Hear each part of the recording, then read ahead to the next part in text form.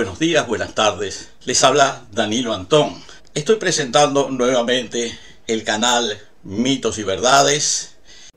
Y en este caso compartiendo un video titulado El gran desierto de Sahara y los pueblos que lo habitan.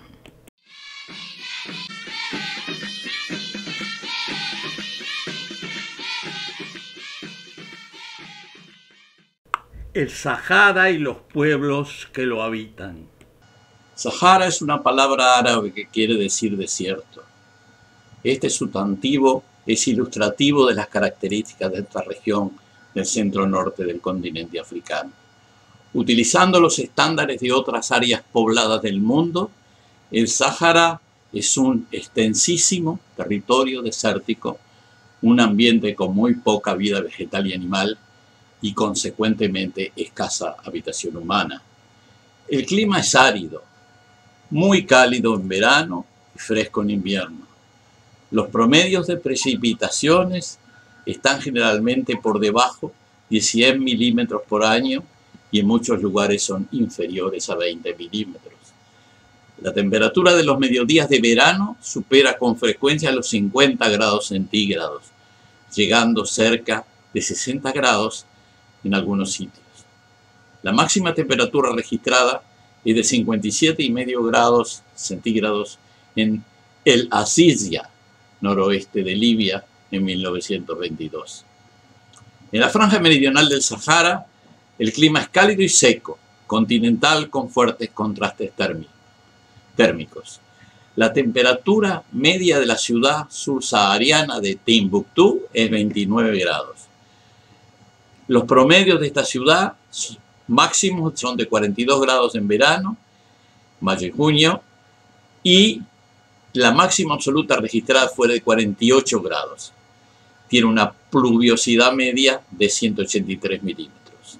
Otra ciudad, Agadez, centro poblado del Sahara meridional, la temperatura media es 28 grados centígrados y sus promedios de máximas en verano son 41 grados. Las mínimas promediales en invierno descienden a 12 grados y las mínimas absolutas se acercan a cero. El promedio anual de las precipitaciones es 114 milímetros. En sus 9 millones de kilómetros cuadrados, la población sahariana es inferior a un millón de habitantes. Estos se concentran sobre todo en una docena de centros urbanos importantes, algunos de ellos relacionados con explotaciones mineras y petroleras y un número algo mayor de oasis con ocupación permanente. Se crían vacunos. En las zonas de oasis cerca de los acuíferos longitudinales de los wadis y alrededor de manantiales y pozos, se lleva a cabo una agricultura hortícola y frutícola a la que se agrega el cultivo de palmas datileras. La región sahariana contiene además varios centros de explotación minera, las minas de sal en Mali y Níger, los hidrocarburos en Argelia y Libia y los fosfatos en Marruecos y Túnez. Antes de la expansión europea en la costa del Golfo de Guinea, el comercio entre los países mediterráneos y África subsahariana se realizaba a través de rutas comerciales que atravesaban el desierto desde las estepas del Sahel y las sabanas del Sudán en el sur hasta la región marroquí.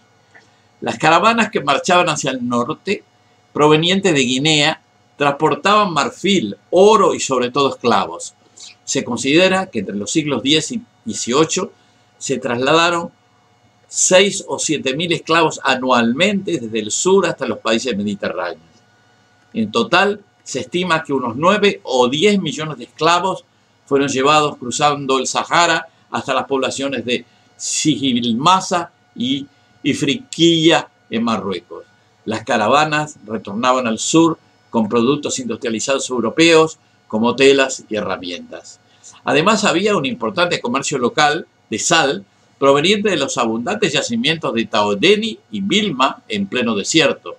La producción de sal de Taodeni se transportaba, y aún se transporta, hasta Timbuktu, que es el principal centro urbano, centro urbano del norte de Malí, distante 664 kilómetros de la capital, y la de Vilma a la ciudad de Agadez, a 557 kilómetros, ambas situadas en Níger septentrional. La red de transporte de mercaderías a través del Sahara que se iniciaba en Marruecos y Trípoli y cuyas bases principales saharianas estaban en Timbuktu y Agadez, han disminuido considerablemente.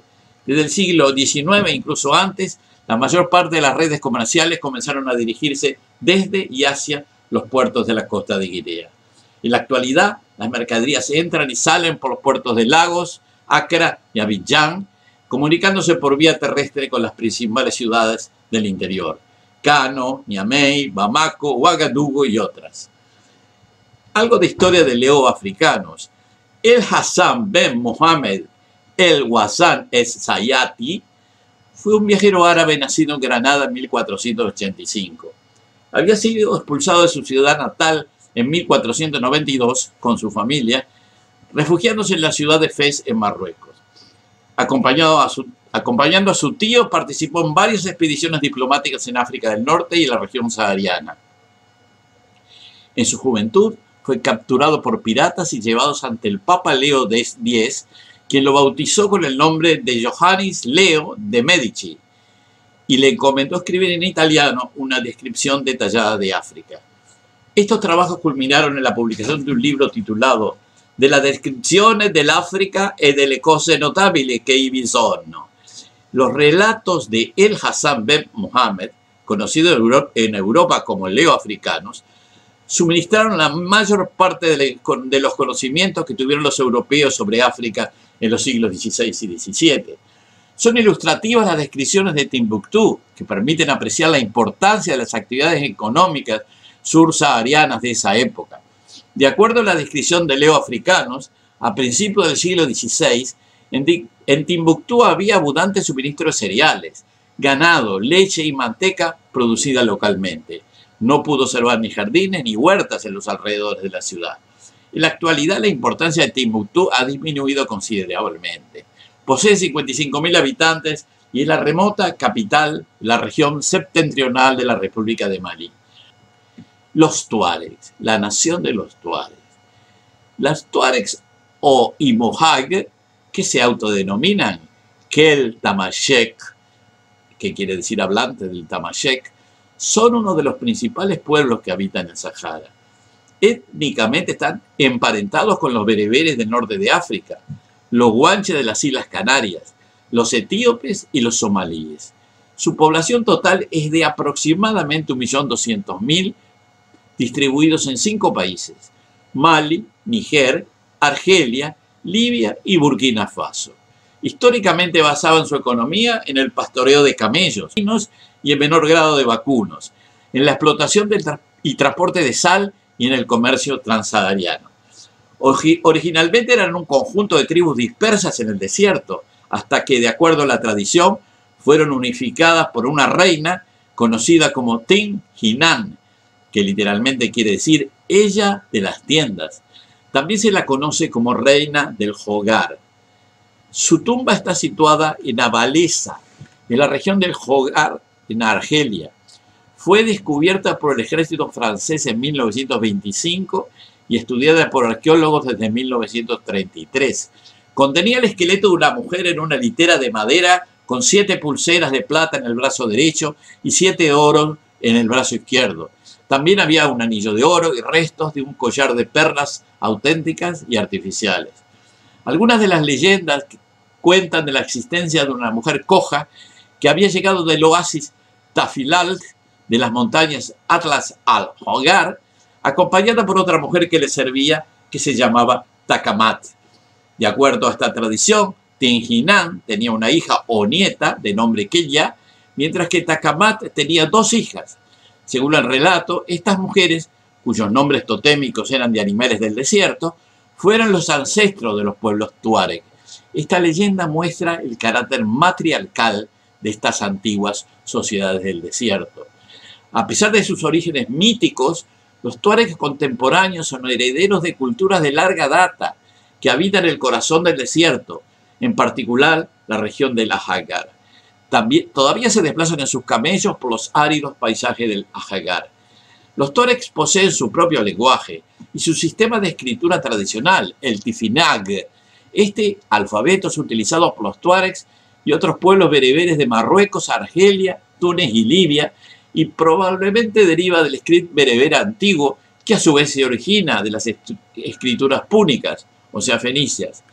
Las características del script bereber son similares a las de otras escrituras semíticas. Se escriben solo las consonantes, algunas letras tienen más de una morfología y las inscripciones en monumentos se escriben en filas horizontales de derecha a izquierda. Durante el siglo XX, después de la independencia de los estados saharianos y sahelianos, los tuaregs sufrieron cambios en sus costumbres ancestrales. Antes los tuaregs podían recorrer libremente el desierto con su ganado en busca de agua y pasturas, y para mantener contactos regulares con las diversas comunidades que habitaban su vasto territorio. A pesar de la, de instauración de los nuevos estados y la demarcación de sus fronteras políticas, los tuaregs se vieron impedidos de continuar con las migraciones periódicas impidiéndose o dificultándose los intercambios transfronterizos. Debido a sus, antecedentes históricos, la situación política actual de los tuaregs en Mali y Níger es compleja. En otros tiempos los tuaregs fueron participantes activos en el tráfico de esclavos. En la actualidad el balance de poder de África subsahariana se trasladó, se trasladó hacia el sur. La memoria histórica que consideraban a los tuaregs como traficantes de esclavos se ha conservado en los grupos étnicos del sur, Bambara, Songhai y Bantúes. Otro factor fue la migración hacia los centros urbanos luego de la independencia, en particular en Argelia y Libia. Las razones fueron varias. Sequía, disminución del plantel animal, represión en Adrar y Foras en 1962 e intento de golpe de Estado en Níger en 1967. A ello se agregó una intensa hambruna que tuvo lugar en la década de 1980 y que llevó a acentuar la migración de refugiados de las zonas afectadas. A partir de 1989 se multiplicó la represión. Se desarrollaron movimientos tuareg de resistencia armada con una rebelión general en 1990 en Níger y Mali. En Níger, o Niger, se conoce este alzamiento como la tercera rebelión tuareg debido a las anteriores rebeliones de Ag Mohamed Wau de Guida Kaoser en las montañas Air en 1914 y la revuelta y Cascazán en 1911, que volvió a estallar en Mali en 1916. En Mali, la rebelión comenzó con un ataque a los edificios gubernamentales en la ciudad de Gao. El ejército de Mali reprimió a los rebeldes dando lugar a un levantamiento de la población tuareg. El conflicto terminó en 1992 cuando se formó un nuevo gobierno. Se otorgaron reparaciones a las víctimas, se creó una nueva región autónoma, la región Kidal, y se concedió mayor representación tuareg en el ejército. Dos años más tarde, nuevamente algunos grupos tuareg atacaron Gao, provocando mayores represalias del ejército de Mali. La guerra civil terminó en 1995, cuando ambas partes negociaron un tratado de paz que mantuvo la región en calma por algunos años. En los últimos años se reconstituyeron las fuerzas independentistas tuareg en Mali y a principios del 2012 pudieron tomar la ciudad de Timbuktu y Gao declarando la independencia de un nuevo Estado tuareg, la República de Azawad, cuya estabilidad política fue muy limitada y que fue finalmente eliminada por, el ejército, por las fuerzas militares francesas en colaboración con el gobierno de Mali. Desde entonces, la situación en Mali continúa siendo bastante compleja, con una inquietud generalizada de las poblaciones tuaregs en el norte y un control eh, moderado, e incluso inexistente, del gobierno de Mali en, en todo su territorio. Con este video terminamos la presentación de un capítulo del libro Crónicas de la Peripecia Humana. Continuaremos presentando nuevos capítulos en los siguientes videos.